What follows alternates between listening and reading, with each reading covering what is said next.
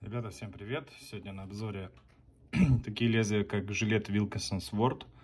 Ну, про жилет и про Sword я уже рассказывал в своих обзорах, можете посмотреть мои видосы. А, значит, такая вот сомнительная упаковка. Произведено, пишут, что в Китае. Вот. То есть, типа, как компиляция жилет и Sword. Где-то якобы остался филиал, который совместно работает. Вот, но особо в интернете такой информации нет. Ну, кошка тоже любит ими бриться. В общем, сами лезвия вот такие вот идут. В таких пачках. Ну, вроде бы как аккуратно все пропечатано, да. Вот, открываем. Открываем, такой конверт идет, как будто бы вручную его сюда захреначили. Видите, смотрите, как оно неровно идет. То есть, да,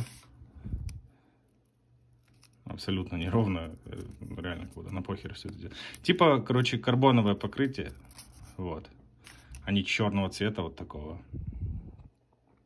Все пропеч... Так, ну-ка, чем тут бодаемся? Короче, а, пропечатано хреново, вот. Сейчас я кота уберу, блин. Пропечатано хреново. Бреют они, ребята, я скажу сразу, вообще никак. Как будто бы вот эту вот пластинку вырезали и даже не затачивали. А, то есть я в каких, во всех станках пробовал. И в Роквелле, и в Мюле, и везде. И вычитал в интернете, короче, что, ну, действительно лезвия хреновые у всех практически. Кому-то попадались э, нормальные более-менее, да, на троечку у них брили. Но то были лезвия 15 -го года. Вот.